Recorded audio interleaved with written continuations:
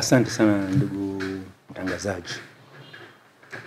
Uh, kwanza nianze kwa kusema kwamba neno halisi tume ya kijaji kwangu ni geni.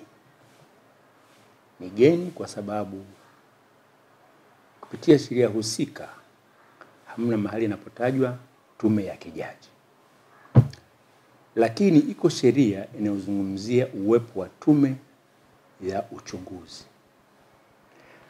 Ukipitia ile sheria unagundua ni kwa nini mwananchi wa kawaida anaona kuna umuhimu wa kuwa na tume ya kijaji, na vile vile nadhani ukizingatia kwamba kuna chunguzi huko nyuma aina mbalimbali ambazo zimefanywa zikiwa na tume ambazo zilisimamiwa na majaji. Uh, nikitaja haraka haraka kwa mfano kulikuwa na tume ya mfumo wa kutoka mfumo wa vyama vingi kutoka mfumo wa chama kimoja kwenda mfumo wa vyama vingi. Ilikuwa ni tume iliyoundwa na iliongozwa na jaji mkuu wakati huo, Jaji Nyalali. Baadaye hiyo ilikuwa ni kwenye mwaka 1990 91 kwa sababu hiyo ndio iliyosababisha kukawa na mabadiliko ya mfumo wa uendeshaji wa taifa kutoka mfumo wa, wa chama kimoja kwenda mfumo wa vyama vingi, na baadaye kwenye miaka ya tisini na tisa kuliundwa tena tume nyingine, tume ya Jaji Kisanga ambayo na yenyewe ilizungumzia ma, masuala hayo kama yaliyoguswa na tume ya Jaji Nyalali, na baadaye akatoa mapendekezo ikiwepo yale mengineyo katika yale ambayo yalizungumzwa na tume ya Jaji Nyalali, na pameendelea kuwepo na tume e, nyingine ambazo huwa zinateuliwa na rais aliyepo madarakani wakati huo. Sasa hiyo ndio inaleta dhana kwamba hizi tume kumbe lazima ziwe na majaji au kama tulivyoona kwenye uzoefu kwamba zimekuwa zinaongozwa na majaji tena majaji katika ngazi ya juu, jaji mkuu wakati ule, jaji Nyalali, jaji mkuu Nyalali au jaji Kisanga ambaye alikuwa ni jaji wa ngazi ya juu kabisa katika mahakama ya rufani. Sasa hiyo ni katika kuoanisha dhana ya tume za uchunguzi na, ni, na wanapokuwepo majaji imejenga dhana ya uwepo na tume ya, ya kijaji, lakini nilitamka kwamba hizi tume zinaundwa kutokana na sheria Sheria sura namba 32 ya sheria za Tanzania ambayo kwa lugha ya kingine inaitwa inaitwa Commission of Inquiry Act. Hii ni sheria mzee kidogo, sheria iliyoundwa na mkoloni mwaka 1928 lakini imefanyiwa mapitio na marejeo, na marejeo ya mwisho yalikuwa wakati wa marejeo ya sheria nyingi tu mwaka elfu mbili na mbili na hii tume ndio inayotoa miongozo ya nini kinachoitwa tume ya uchunguzi, nani anayeunda tume ya uchunguzi, mamlaka yake yanapatikana vipi, utendaji kazi wake wanafanya vipi, na mwisho wa uchunguzi ambao ndio utendaji wa tume huwa kunatokea nini. Sasa labda nianze kwa kusema kwamba hii tume, chini ya sheria hii, tume inaundwa na Mheshimiwa Rais, na tufahamu kwamba Mheshimiwa Rais ana mamlaka ambayo yanatokana ama na katiba au na sheria mbalimbali, lakini hususan katika sheria hii anaweza kuunda tume ya uchunguzi kulingana na mambo makuu matatu hivi ya. La kwanza Rais, Mheshimiwa Rais anaweza kuunda tume anapoona kwa maoni yake mwenyewe binafsi kwamba kuna, kuna umuhimu wa kuunda tume ya uchunguzi. Au akishauriwa na waziri muhusika katika swala ambalo angependa lichunguzwe.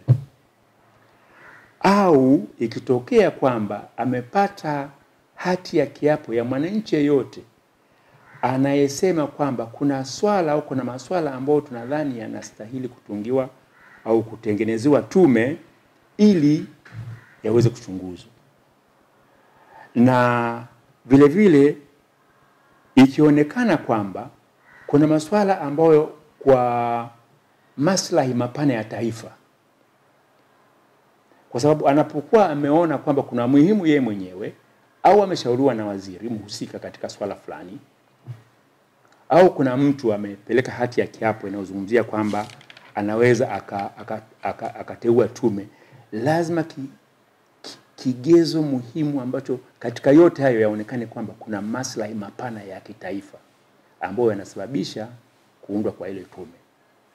Sasa na mimi ningependa kabla ya kuenda kuzungumzia ni mambo yapi yanaweza kuundwa kwenye tume, niseme jambo moja kwamba inapofika mahali mpaka inambidi rais aunde tume kutokana na hivyo vigezo nilivyovisema, lazima kuwa na tatizo kubwa sana. Kwa sababu gani?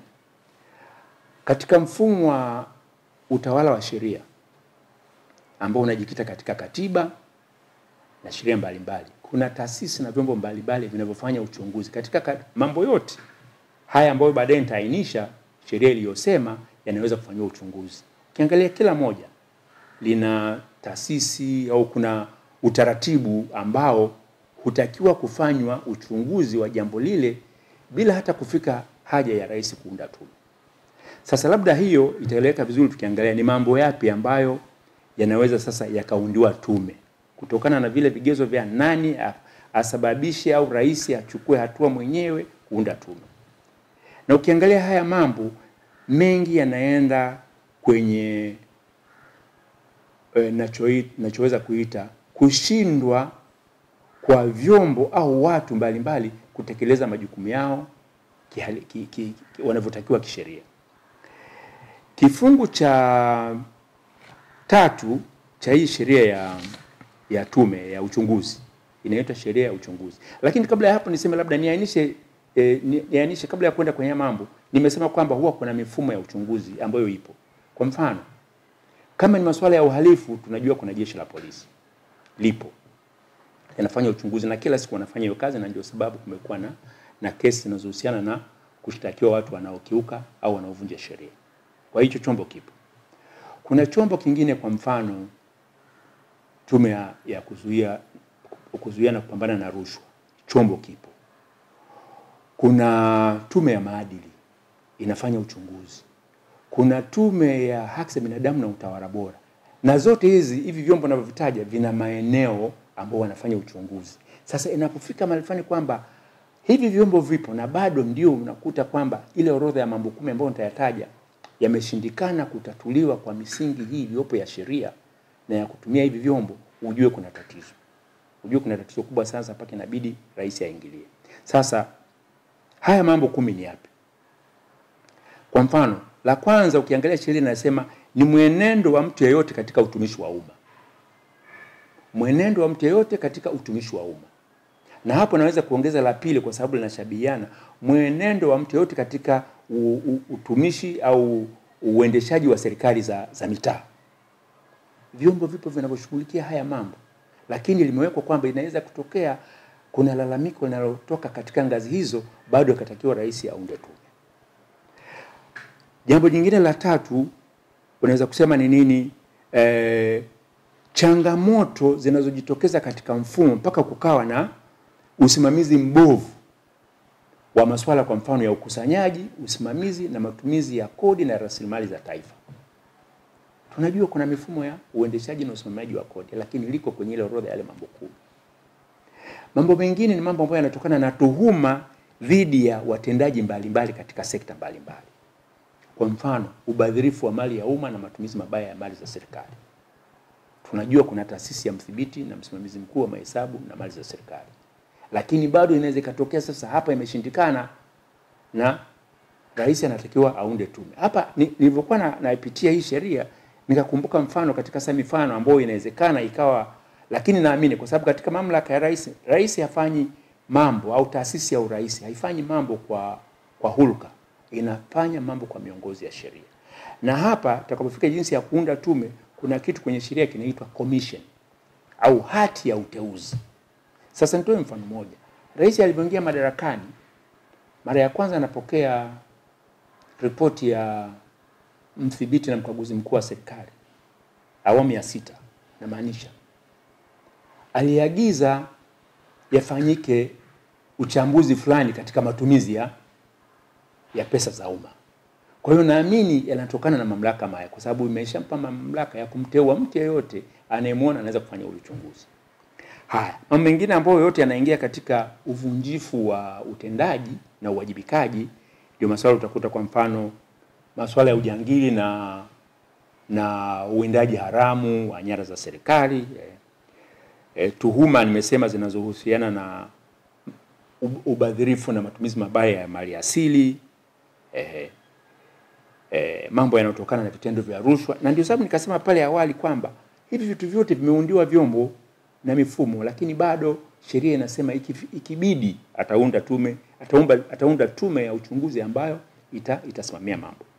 Na la mwisho la kumi hapa sasa nadhani ndio umuhimu unapokuja, sema jambo jingine lolote ambalo yeye ataona kwa maoni yake kwamba ni la maslahi mapana ya taifa, public interest.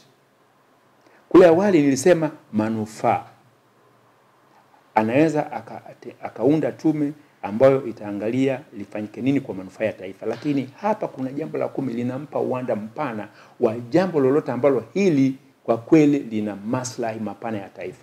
Sasa hapo wataalamu wa Kiswahili wanaweza wakatueleza tofauti ya manufaa na maslahi, lakini sheria inavyoonyesha ni kwamba likishafika mali sasa hili swala lina maslahi mapana ya taifa, kwamba kuna umuhimu wa kuunda tume, rais ana uwezo wa kuunda hiyo tume. Sasa anafanyaje kuunda hii tume au hao wanaundwa kwenye tume ni kina nani? La kwanza nimesema hapo awali kwamba rais kwa kutumia mamlaka ya sheria hii lazima atengeneze hati ya uteuzi wa tume ambayo itakuwa na majukumu, itakuwa na maelezo machache, mojawapo la kueleza kile anachoweza kuita kama hadidu za rejea za hii tume, ili itakapoundwa, kwa sababu inaundwa mahususi katika misingi ya yale mambo kumi niliyoyasema, ili waweze kujielekeza ki, kisahihi, wasifike wakawa na mawanda mapana ambayo hawajui wana, wanafanya nini. Kwa hiyo lazima katika ile hati kwenye sheria kwa lugha ya Kiingereza inaitwa commission ile hati ya uteuzi ambayo ni hati ya maelekezo ya nini kinafanyika, kwanza lazima itoe eh, hadidu ambazo zitawaongoza, na katika ile hati vile vile sasa pale ndio itakapotaja wajumbe wangapi, ana uwezo kumteua kumteua mjumbe mmoja akawa ndio tume, au akateua wajumbe kadhaa na kumteua katika hao mwenyekiti atakuwa nani ndio pale unaporudi kule nyuma sasa unakuta wale majaji walikuwa wanateuliwa kuongoza tume, lakini kunakuwa na mwenyekiti ambaye baadaye ndio anabeba jina la tume. E, kwa hiyo akisha akisha akisha akishaiunda sasa kupitia ile hati na zile hadidu za rejea, wale watafanya uchunguzi, watatengeneza taarifa, watatoa matokeo ya uchunguzi wao, na zile taarifa zitapelekwa, zitarudishwa kwake, zitarudishwa kwa rais na kabla ya kufanya hivyo vile vile kutakuwa na mambo machache ambayo ni ya muhimu kuzingatia, au wakati anapofanya hivyo. Na sasa itakapokuwa imeundwa, lazima iwe na katibu. Kwa hiyo atateuliwa katibu, na huyu katibu ndio atakuwa sasa ana, ana, ana, anasimamia usimamizi wa, u, na uendeshaji wa tume ambao kuna masuala yatakuwa ni ya fedha, masuala ya rasilimali watu, masuala ya ya vitendea kazi ambavyo sasa hivi ni vitu vya, vya kuhakikisha kwamba ile tume inafanya kazi. Ehe.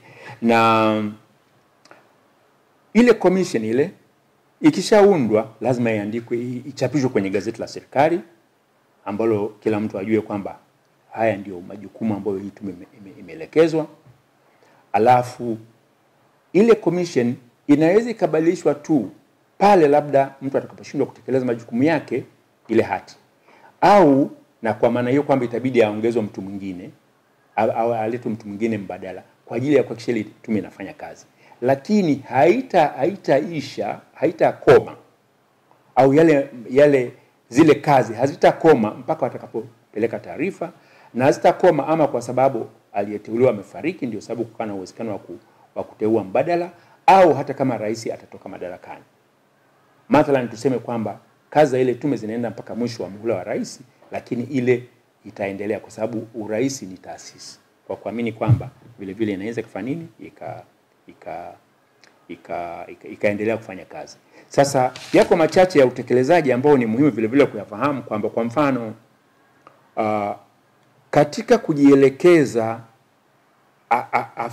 aunde tume kufanya nini, anaweza kupata ushauri kutoka kwa mwanasheria mkuu wa serikali na watendaji wengine ambao wataliangalia lile jambo ili waweze kujua wanamsaidia rais vipi katika hasa katika kutengeneza hadidu za rejea na ili tume iweze kujiongoza vizuri. Hilo ni moja. La pili, tume itakapokuwa imeundwa baada ya sasa kupata maelekezo na uchunguzi wa awali ambao unaweza kusaidia eh, katika utengenezwaji wa zile hadidu za rejea, kama kuna taasisi yoyote, na ukumbuke nimezitaja taasisi kadhaa ambazo zinafanya uchunguzi katika kazi zao za siku hadi siku. Kama kuna taasisi yoyote inaguswa na haya masuala yanayochunguzwa, inabidi pale iachie ngazi, kwa sababu sasa hii ni tume ya rais ambayo inafanya uchunguzi na wanas, wanasimamishwa kufanya kazi, lakini wanawajibika kuisaidia ile tume ya uchunguzi ifanye kazi. Ndio kusema wahusika wanaweza wakatakiwa kupeleka nyaraka zozote au ushahidi wowote kuhusiana na lile jambo, kama walikuwa wamefanya uchunguzi na halijakamilika, watahakikisha kuzifikisha, watatakiwa kuzifikisha mbele ya, ya, ya tume ya uchunguzi, na wanawajibika kisheria kuisaidia na wala sio sio sio hiari kwamba sasa unajua sisi bwana na sisi tuna mamlaka yetu. Wakati ule sasa hii imeshawapikwa, hii tume iliyoundwa imeshawapikwa, na wanatakiwa sasa wawe waisaidie tume kwa jinsi tume itakavyoelekeza. Na kwa nini nasema tume itakavyoelekeza? Kwa sababu katika mamlaka walionayo, na ndio pale dhana inapokuja ya tume ya kijaji, ni kwamba sheria inasema ile tume itaendesha shughuli yake kama kwa mfumo wa kimahakama. Kwa lugha ya kitaalamu wanasema wataendesha kama vile ni judicial functions, yani zile ni ule ni mfumo wa kimahakama ambapo wataitwa watu wata, watafika mbele ya mahakama watatoa ushahidi, na wanapotoa ushahidi wanafata sheria za ushahidi kama zilivyo katika sheria za ushahidi wa nchi. Yule aliyeitwa mbele ya tume lazima ajieleze kulingana na sheria ya ushahidi, kama ambavyo angeweza akapelekewa summons ya wito wa kwenda mahakamani na mahakama kuu. Kwa hiyo ule wito wa yule mwenyekiti aliyekaa pale unakuwa ni wito sawasawa umeitwa na summons ya, ya mahakama kuu kwenda kutoa ushahidi kwenye kesi. Ehe. Kwa hiyo unakuta ndio, ndio, ndio, ndio haya masuala ambayo yanaipa ule umuhimu hii tume. Hii, hii ni tume imeundwa ambayo ina inaletwa ina, ina, inapewa umuhimu na uzito kama vile ambavyo mahakama kuu inafanya kazi zake, sio mahakama kuu, lakini inafanya kazi kama mahakama, na ndio sababu hizo dhana za za kuwa huru za kuwa tume ya kijaji zinaanza kuingia hapo ukiondoa zile ambazo nimesema za mifano halisi, lakini hizi dhana zinazojitokeza ni kwa nini e, zina, zinatakiwa ku, e, kufanya kazi kwa, kwa, kwa, kwa kulingana na, na, na, na, na hiyo mifumo iliyoko ya kisheria yeah.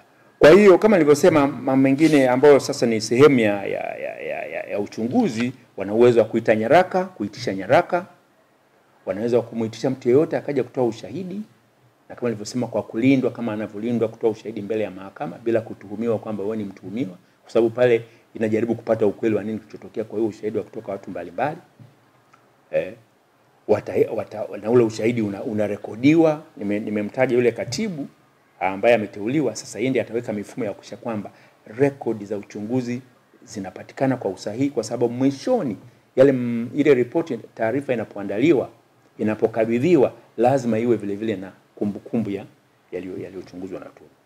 Kwa hiyo utakuta ni tume ambayo kwa kweli eh, ina inamwezesha rais kufanya maamuzi hasa kama wakati akishapata ile taarifa yake, kufanya maamuzi ambayo yanatokana na taarifa rasmi na zinazotokana na vielelezo na maelezo na na na namna mbalimbali kama tunavyojua jinsi ya kupata taarifa bila bila bila bila, bila, bila eh, kushindwa kuzipata kwa sababu wana mamlaka makubwa sana ya kujua kwamba um, kwa kujua kwamba ni nini kinachochunguzwa na nani wahusike. Hamna mtu anayeweza kukataa kwenda mbele ya, ya tume kwa namna yote ile, kwa sababu tayari yeye anatakiwa kwenda kwa summons ambayo ina nguvu ya mahakama kuu. Kwa labda niseme hayo ndio ya msingi sana katika uundwaji wa tume ambayo ni vizuri kuyafahamu kwa, kwa, kwa, kwa, kwa haraka haraka. Asante sana kwa swali hilo, la kunikumbusha katika yale niliyosema yanayoandikwa kwenye commission. Ile hati, kwa sababu katika zile hadidu za rejea wataambiwa anzeni kazi lini na muhakikishe inapofika wakati fulani mmekamilisha ili muweze kutoa taarifa, kwa sababu ile taarifa lazima, huwezi kwenda tu bila bila bila kikomo. Kwa hiyo ile ni swali zuri ambalo litaandikwa kwenye ile hati ya ya uteuzi ile ambayo inawateua inamteua mm, mjumbe au kamishna ambaye anaweza kuwa mmoja au wajumbe kadhaa na mwenyekiti nani na namna mtakavyoendesha kazi yenu, na wenyewe watajipangia eh, kwa lugha ya kitaalamu tunaita rules of procedure, yani ile hawapangiwi, wanakaa wao wanapanga. Sasa jamani, tumepewa hii kazi, sasa tunafanya hivi, tuna tunakutana tuna, tuna tunakutana mara ngapi kwa siku, katika mida ipi? Eh, tutakutana tunatakiwa tufanye nini ili tufikie hili lengo lililotajwa kwenye kwenye ile hati. Hayo ni masuala ya ndani ambayo watajitengenezea, lakini kwa watu wenye uzoefu, kwa mfano kama nilivyosema, uh, watu wa ngazi ile katibu anasaidia sana kuandaa eh, hizo rasimu za nini kifanyike eh, kwa maana ya taratibu rules of procedure, alafu wao watazipitia na baadaye wakishazikubaliana nazo ndio zinakuwa zinawaongoza katika mwenendo wao. Kwa hiyo muda, swali lako kama ulivyoliuliza, linakuwa limeelekezwa kwenye ile hati ya, ya mamlaka. Tume baada ya kutoa, katika kutoa taarifa yake inatoa na mapendekezo, inatoa mapendekezo ya nini kifanyike. Sasa ile sheria inasema kwamba rais akishapokea taarifa na yale mapendekezo yaliyomo, atatoa maagizo kwa taasisi au mtu yeyote ambaye amelengwa kutekeleza yale ma, ma, mapendekezo. Kwa mfano, na pale kwenye kifungu namba ishirini na moja kinaeleza kwa kabisa hasa, nadhani walikuwa nalenga kwa yale ma, ma, e, ule uchunguzi, na utakumbuka zile zile zile yale maeneo kumi, kuna mengi sana ambayo yanaashiria yana, yana kwenye uhalifu ambao unaweza kuishia kwenye makosa ya jinai. Kwa hiyo sheria inatamka ina, ina, ina, ina, ina kwamba rais atamwagiza DPP eh, ambayo ni mkurugenzi wa mashtaka aelekeze vyombo vya uchunguzi vichunguze zaidi sasa yale na, na, na kuchukua hatua. Kwa hiyo kuna mwongozo pale unaomwelekeza kwamba yale yanaweza akafanyiwa kazi, na labda labda ni, nitoe mfano kwa sababu mara nyingine nadharia hii inaweza ya, ya sheria inavyosema itaeleka vizuri tukitoa mfano halisia.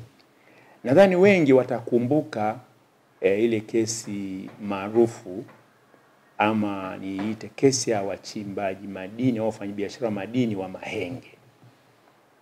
Kwa lugha nyingine unaweza kuita kesi ya Zombe. Mtakumbuka kwenye sakata la mauaji ya ya wale wafanyabiashara wa madini wa Mahenge, kilichoripotiwa awali na baada ya kelele kubwa za jamii, na pale ndio inakuja sasa ile public interest. Nakumbuka pale awali nimesema kuna kuna maeneo ambapo unakuta sasa hili ni swala la public interest, raia wanasema sivyo inavyosemekana.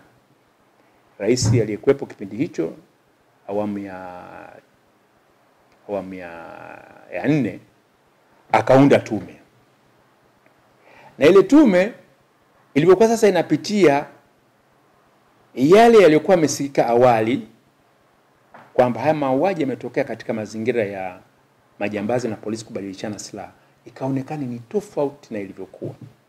Kwa hiyo kilichotokea, alipopata ile taarifa, akasema endeleeni na taratibu zingine za kisheria, kwa sababu sasa pale yeye sio kwamba ni kwamba kwanza amefungwa mikono, kwa sababu ile taarifa imeshamwambia hapa kuna mauaji na hapa lazima ta, e, sheria ya inayosimamia makosa ya, ya mauaji ichukue mkondo wake, na ndicho kilichofanyika mpaka kuingia mahakamani. Kwa hiyo sasa hilo linakuwa sasa limeingia kwenye mkondo wa sheria na sheria itaamua kama ilivyo. Lakini nimete, nimesema huo ni mfano mahususi ambao ni hai, watu wengi wanaweza ku, ku, ku, ku, ku, kukumbuka na jinsi ambavyo tume iliundwa na tume ikafanya kazi na mapendekezo yake yakasababisha kuchukuliwa hatua za eh, kushtaki wa, waliodhaniwa wamehusika wakati ule, waliotuhumiwa kwa lugha ya kisheria na baadaye sheria ikachukua mkondo wake. Sasa ilikoishia hilo ni swala jingine, tunaweza kulizungumza siku nyingine, lakini tunajua huo mkondo ulikuwa ni katika mojawapo ya utekelezaji wa, wa, wa, wa, wa kazi kama na kama nakumbuka vizuri, ilichaguliwa na ilisimamiwa na jaji. Hii tume, simkumbuki jina kwa sasa hivi, lakini ilikuwa tume ambayo ilisimamiwa na jaji.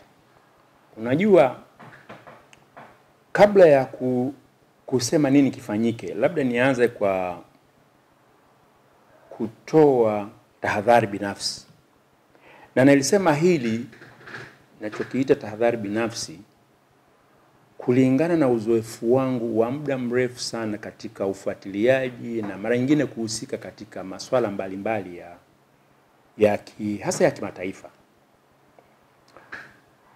Kinachoendelea sasa hivi ni taharuki, na taharuki ambapo ukiangalia kwa uhalisia kama vile hamna mtu anayejua kinacho kinachotokea. Sijui kama unanielewa. Yaani kama ulivyouliza kwamba hata polisi wanaonekana kama vile hawajui kinachotokea. Yaani unaposikia tamko kama hilo kwenye taasisi kama jeshi la polisi ambayo ina mamlaka makubwa na ina vyombo vya kutambua uhalifu na yanayozungumzwa ni masuala ya uvunjifu wa uhalifu tena wa hali ya juu, inakupa taharuki ya kuanza kufikiria, na nasema hili kwa uangalifu sana. Tunaanza kuelekea kwenye tunaanza kuelekea kwenye, ndio sababu nasema najaribu kuchagua maneno yangu vizuri sana. Tunajari, tunaanza kuelekea sehemu ambako tutaanza kui, tutafika mahali fulani tutaitwa a failed state. Sijui Kiswahili chake niseme nini. Katika nchi ambazo ni failed states, yaani kwamba taasisi za serikali zimeshindwa kutekeleza majukumu yake, ni nchi ambazo kwa kweli mfumo wa demokrasia umeshindwa kufanya kazi, kwa sababu mfumo wa demokrasia mantiki yake ni nini? Na nitumie mifano tulionao Tanzania. Tanzania ni nchi ya demokrasia yenye mfumo wa vyama vingi na yenye kuheshimu utawala wa sheria, na ndani ya dhana ya utawala wa sheria kuna mambo mengi sana, mgawanyo wa madaraka, uwajibikaji na misingi mingi ambayo sasa hivi ni watu wengi wanaifahamu. Unapoanza kuona tunashindwa kuwa na uwajibikaji katika vyombo, kwa maana kwamba hatutimizi majukumu yetu tunavyostahili.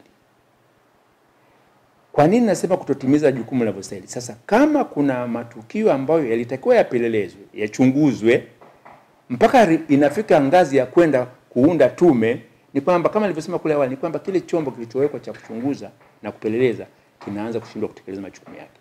Ni kwa nini kinashindwa kutekeleza majukumu yake? Sasa ndio hayo mambo ambayo kwenye hadidu za rejea ungetegemea tume ikiundwa iweze kufanya nini, iweze kutueleza. Je, lakini hoja yangu ni hivi, tunataka au tunadhani kwa hizi taharuki zilizosababishwa au zinazoendelea kujitokeza, are we a tunaelekea kuwa a failed state? Na naposema failed state ni neno zito la lugha ya Kiingereza, lakini kwamba taasisi zetu zinaanza kushindwa kufanya kazi zilizopewa kikatiba na kisheria. Ukiangalia nchi nyingi ambazo zilishafikia kuitwa failed state, ni kwamba taasisi zilipotea. Taasisi zipo, ukienda walikuwa na katiba nzuri tu, walikuwa na miundo ya sheria mizuri tu, kulikuwa na mahakama, kulikuwa na nini, lakini katika mahali fulani yale mamlaka yakapokwa na wale waliodhani sasa wana, ma, wana nguvu zaidi, lakini hawajui namna ya kuiendesha, ikawa ni, ni kila mtu afanye analotaka. Tunataka je, tufike hapo? Kwa hiyo hilo hiyo dhana ni, na ndio sababu nimesema hii taharuki inayojitokeza ni swala la kuliangalia kwa, kwa, kwa, kwa karibu sana. Kwa hiyo hiyo labda niseme, nitaka nilizungumzia hilo kama wasiwasi wangu, na kwa lugha nyingine tahadhari, kwa sababu tunaweza kuona hivi vitu ni vidogo. Labda niseme uh, rais wa chama cha wanasheria uh, na kamati ya uongozi kwa mfano, majuzi ilitoa tamko na ikaorodhesha watu ambao kwa karibu miaka sita saba wamepotea nchini na haijulikani wako wapi, wamepotea vipi, na tuna jeshi la polisi linatakiwa kufanya uchunguzi. Moja. Pili, tuna sheria mahususi inaitwa the Inquest Act. Hii sheria nia yake ni kuhakikisha kwamba kifo cha mtu yeyote sababu yake zinajulikana. Kwa mfano, ukifa serikalini kinatoka cheti eh, kwa daktari anaye anaye anayethibitisha umefariki kwa ugonjwa gani. Mtu akifa kwenye ajali ya gari itarekodiwa na baadaye, na ndio sababu kunakuwa na zile hati za mazishi, kwa sababu ile hati ya mazishi inakuwezesha wewe kwenda kupata hati, e, cheti cha kifo kule kwa msajili e, wa, wa, wa vizazi na, vi, na vifo RITA. Kwa hiyo hiyo ndio mifumo iliyopo sasa. Inapotokea kuna vifo ambavyo they are un, unaccounted for ndani ya mfumo wa sheria huu wa RITA na wa mahospitali na nini, lazima huwa kuna sheria inayotaka eh, eh, serikali inayotaka serikali na vyombo vyake vipitie mfumo wa kujua hii sababu ya kifo nini. Ile sheria sasa hivi kimsingi haifanyi kazi, husikii vifo vinavyotokea vimechunguzwa, kwa sababu ile ina- inamwezesha mtu anaitwa corona ambaye ndiye anayetajwa kwenye ile sheria kuitisha eh, jalada la yule mtu na kuhoji mpaka ifike mahali fulani yeye aweze kutoa sababu ya kifo, kwa sababu sio sio daktari wala la, ule mfumo sasa sio wa hospitali, ni mfumo wa kisheria wa kuthibitisha. Sheria haifanyi kazi, na kwa maana hiyo ndio sababu nikisema kwamba kuwepo na failed state ni kitu kinachoanza taratibu, mnakiona taratibu, mnachukulia mzaa. Tumechukulia mzaa miaka mingi sana kutokufanya kazi kwa Inquest Act, lakini inaenda mahali fulani sasa mtu anapotea na tuna, tunaanza kuona kama vile ni kitu cha kawaida eh, wale watu nadhani ilikuwa orodha ya watu sabini. Mimi mwenyewe nilistuka kwa sababu niseme hapa kwamba katika baadhi ya waliotajwa kwenye ile orodha ya TLS, mimi mwenyewe nilishawahi kuandikia tamko nikiwa mwenyekiti wa tume ya haki za binadamu kwamba inakuwaje watu wanapotea, lakini hatu hatuoni kinachofanyika.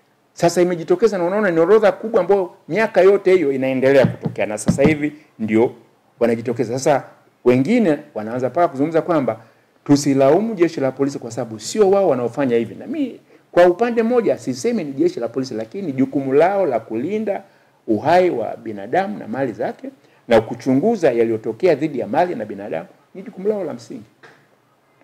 Kwa sasa swali linakuja hapo sasa, tufanye nini?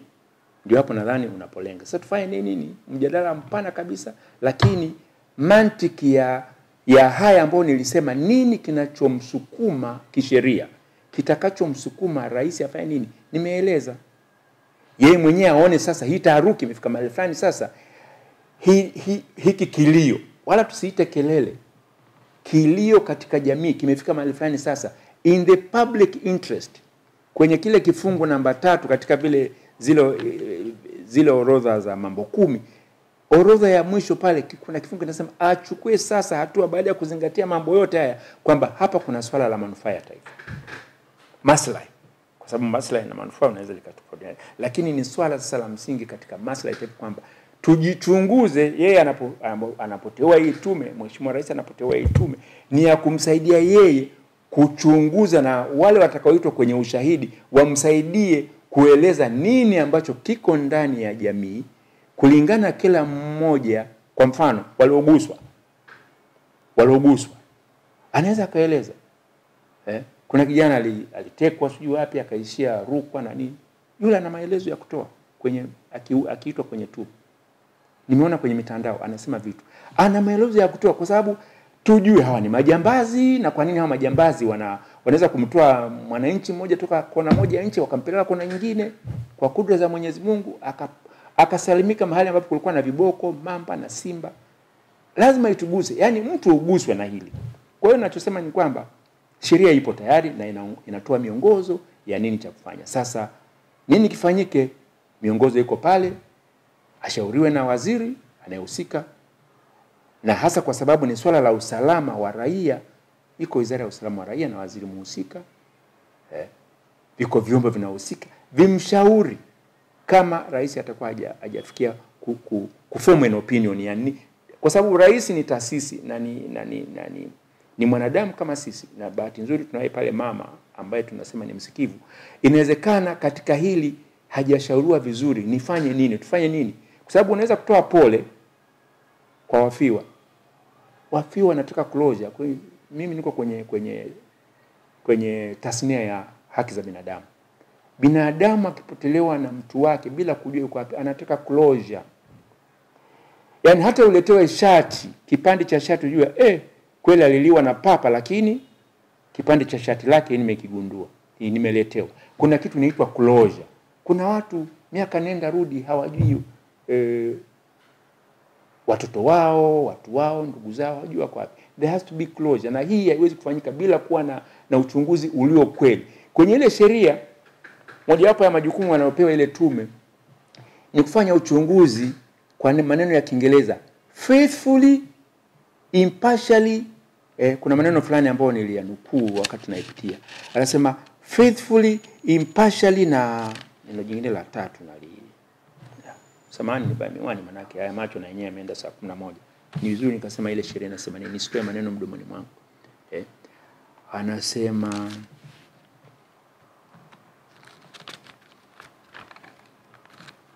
mm-hmm. Yaani uchunguzi ule ufanyike faithfully impartially, na yani uwe wa haki. Na jingine ambalo niseme, kimsingi unatakiwa uwe wa wazi, nalo ni muhimu sana, lakini sheria inasema uh, wanaweza kuagiza, rais anaweza kuagiza ifanyike kwa siri, yani in camera, lakini kwa maana kwamba pasiwe na watu, lakini kwenye mazingira kama haya, ningeshauri kama anashauriwa kiongozi rais, huu uchunguzi uwe wawazi uwe huru na wawazi kwa sababu kuna vitu vingi sana ambavyo vitasaidia healing.